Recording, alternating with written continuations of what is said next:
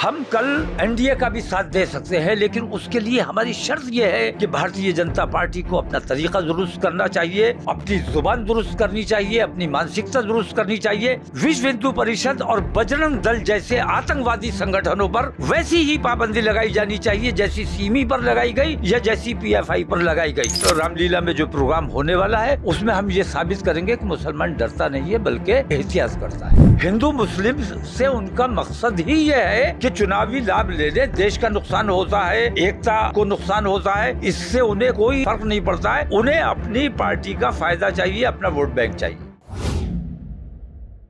आदाब, नमस्कार, मैं वसीम अख्तर और आप देख रहे हैं द लीडर हिंदी। हम इस वक्त मौलाना तोक़िर रजा खान के साथ हैं, उनके आवाज़ पर, दरगाह अल हज़रत के पास।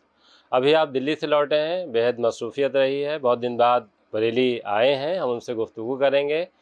एक प्रोग्राम मौलाना पिछले दिनों यहाँ प्रेस कॉन्फ्रेंस में ऐलान करके गए थे कि मुस्लिम धर्म संसद दिल्ली के रामलीला मैदान में करेंगे। उसकी क्या तैयारी है? ज़ाहिर सी बात है दिल्ली में रहे हैं तो उसकी तैयारी हुई होगी। वो क्या तैयारी है उनसे बात करते हैं। मौलाना क्या तैयारी है जो आपने प्रोग्राम के ऐलान किया था प्रेस कॉन्फ्रेंस में कि आप दिल्ली में मुस्लिम धर्म संसद करने जा रहे हैं जो पिछले कई बार से ये हो रहा है कि टल रही है आ, नहीं टल नहीं रही है बल्कि तमाम एहतियातें बरुए कार लाते हुए और तमाम लोगों से मशवरे, मौजूदा हालात में किन चीज़ों की ज़रूरत है और किन लोगों से मशवरा होना चाहिए। एक तो ये वजाहत कर दूँ कि धर्म संसद नहीं कर रहा हूँ मैं वहाँ। मुस्लिम महापंचायत नाम दिया गया है और इन इसकी तारीख का जब मेरे हाथ में परमिशन आ जाएगी तब ऐलान करूँगा। अच्छा परमिशन डाली जा चुकी परमिशन मांगी है। पंद्रह तारीख की मांगी थी, लेकिन छः से और छब्बीस तक रामलीला ग्राउंड जो है, उसमें प्रोग्राम मतलब बुक है पहले से। तो छब्बीस के बाद की कोई तारीख मतलब आखिरी हफ़्ता अक्टूबर का इन हमारी डेट रहेगी। और बड़ा प्रोग्राम, जो मुसलमानों के जज्बात हैं और मुसलमानों के बारे में आमतौर से लोगों के दिमाग में ये बैठा हुआ है कि मुसलमान खौफजदा है, डरा हुआ है। हमें ये बताना है कि मुसलमान खौफजदा नहीं है। मुसलमान को सिर्फ़ अल्लाह का खौफ है। और लोगों को अगर ये समझता है कि मुसलमान हुकूमत से डर रहा है या इन आतंकवादी संगठनों से ये जो हिंदूवादी आतंकवाद फैलाने का काम कर रहे हैं, इनसे खौफजदा है। तो ये उनके दिमाग से बात निकालनी है हमें। और हमें ये बताना है कि हम अपने देश में अमन अमान चाहते हैं, भाईचारा चाहते हैं, एकता चाहते हैं। डर की वजह से नहीं, बल्कि अपने देश का अमन ख़राब ना हो, इस वजह से हम तमाम एहतियातें रखते हैं। तो जो मुसलमानों के दिल में जज्बात हैं, उन जज्बात का इजहार करने के लिए मैंने मुस्लिम महापंचायत बुलाई है और उसमें यह भी रहेगा कि आने वाले 24 के चुनाव में मुसलमानों का क्या रुख रहना चाहिए ये बात भी तय होनी है। तो ये बात चंद लोग तय नहीं करेंगे बल्कि उस महापंचायत में तय की जाएगी। अच्छा, तय करेगा जी इनशाला जो इसका मकसद यही है कि मुसलमानों को इकट्ठा करना है या जो बात कही जा रही है कि मुसलमान डर गए हैं वो डर निकालना भी मुझे ये दिखाना है कि मुसलमान डरे हैं अगर डरे हैं तो यकीनन नहीं आएँगे। और मुझे ये यकीन है कि जैसे मैंने एक बार आ, आ, कफन बाँध के लोगों बीस हज़ार लोग बुलाए थे मैंने लेकिन दो लाख से भी ज़्यादा आ गए। इसका मतलब यह है कि मुसलमान डरा हुआ नहीं है बल्कि अमन पसंद है और अपने मुल्क का अपने शहर का अपने ज़िले का अमन ख़राब नहीं करना चाहता। तो वो लोग जो देशद्रोही हैं, उन्हें अपने देश के अमन से कोई मतलब नहीं है, बल्कि अपने पार्टी का फ़ायदा और अपने आप का फ़ायदा करने के लिए वो देश का कितना भी बड़ा नुकसान हो, वो कर देते हैं और कोई परहेज़ नहीं करते। हमें ये दिखाना है कि हमने आज तक जो एहतियात की है और जो तुम्हारी बेईमानियों और बदकारियों और जुल्म को जो हमने सब्र किया है वो हमने अपने मुल्क में अमन बनाए रखने के लिए किया है तुम्हारे डर के मारे नहीं किया है। ये हमारे जो होने रामलीला में जो प्रोग्राम होने वाला है उसमें हम ये साबित करेंगे कि मुसलमान डरता नहीं है बल्कि एहतियात करता है। आप मुसलमानों की इकट्ठा कर रहे हैं तो इससे जो हिंदू पक्ष है जो जैसे भारतीय जनता पार्टी जैसे आप कह भी रहे हैं कि वो उनको उकसाती रही है तो क्या वो इकट्ठा नहीं होंगे? वो मेरी वजह से इकट्ठा होंगे। वो तो वो तो इकट्ठा है। वो तो इकट्ठा है।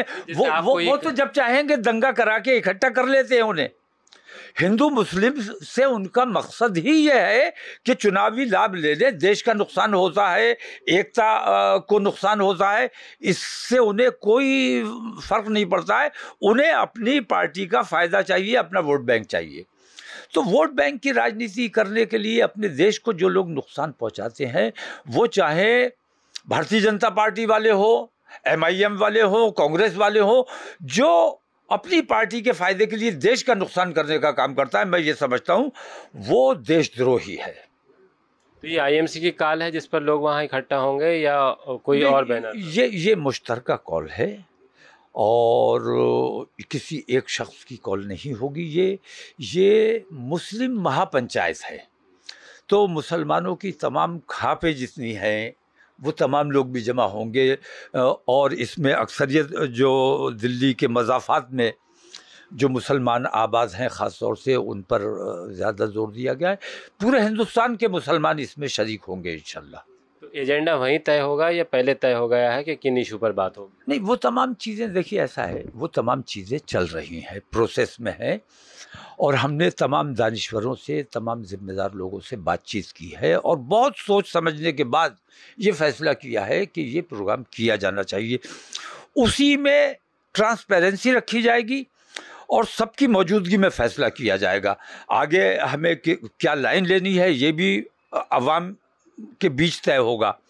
कुछ लोग अपने कमरे में बैठकर पूरी कौम का फैसला कर दे, ये बात मुनासिब नहीं है। कौम को मैं ये देखता हूँ कि हमारे कायदीन, वो चाहे मजहबी हों या सियासी हों या समाजी हों, इनकी लापरवाहियों की वजह से लोगों ने यह महसूस किया कि हमारे कायदीन खुद गर्ज हो गए। तो कौम बिल्कुल खुद मुख्तार हो गई। अब वो किसी से कोई कुछ नहीं पूछ रही। तो उनमें जो खुद मुख्तारी आई है, ये भी उनके लिए जहर है।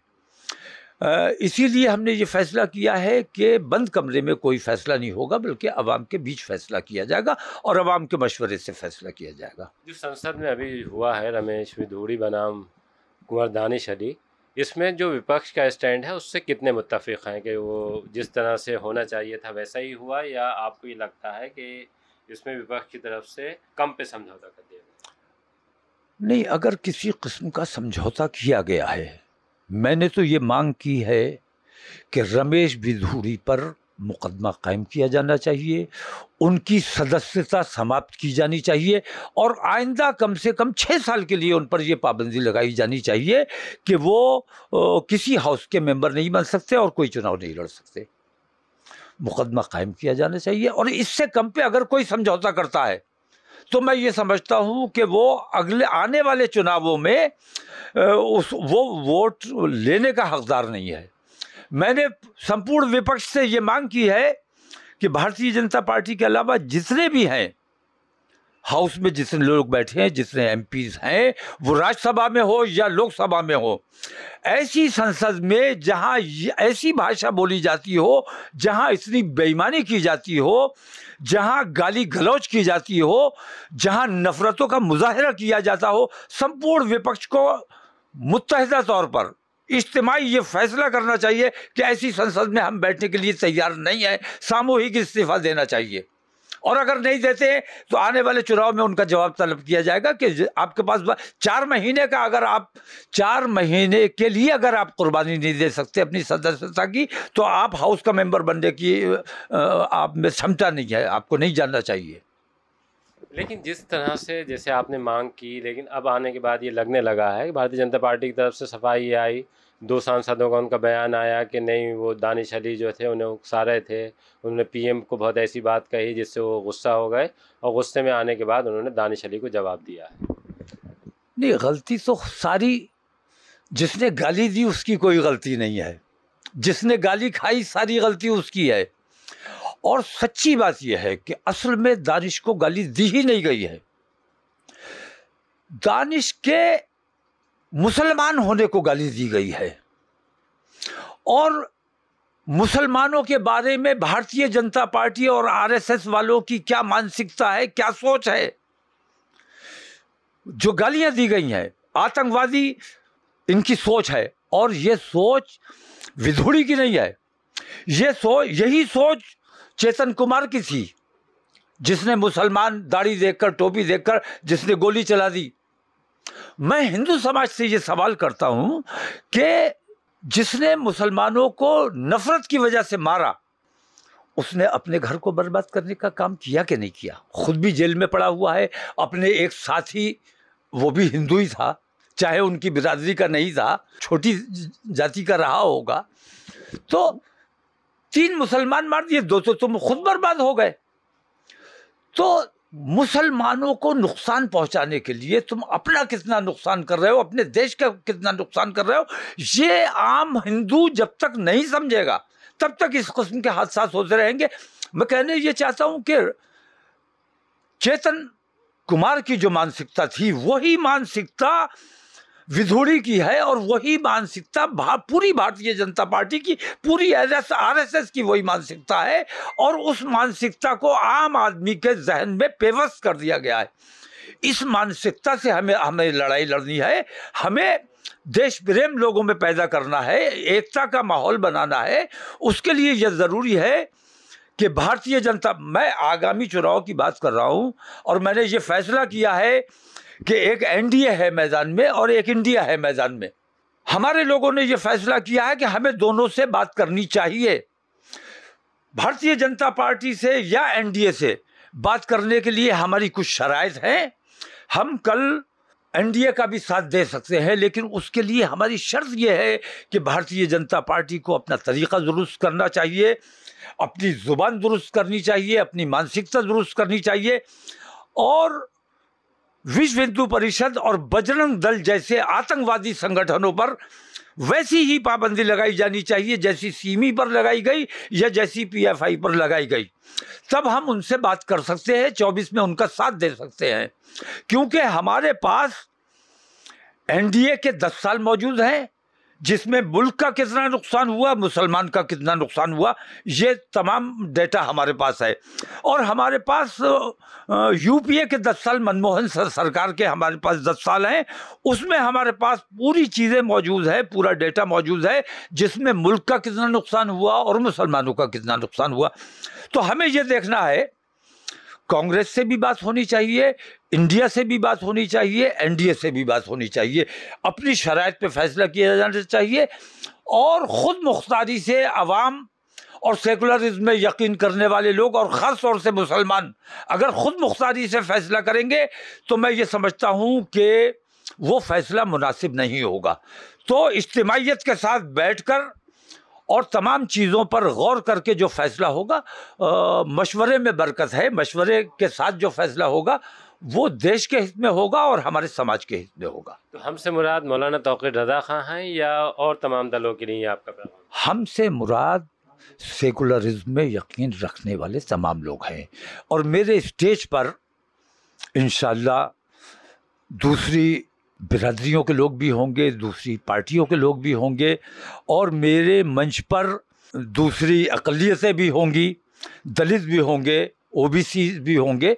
तमाम लोगों को मैं अपने स्टेज पर रखूँगा और तमाम लोगों से मशवरा करके अगर ज़रूरत पड़ी, इन लोगों ने हमारी शराइ पर अमल नहीं किया, ज़रूरत पड़ी तो इन उसी दिन तीसरे मोर्चे का ऐलान भी किया जा सकता है।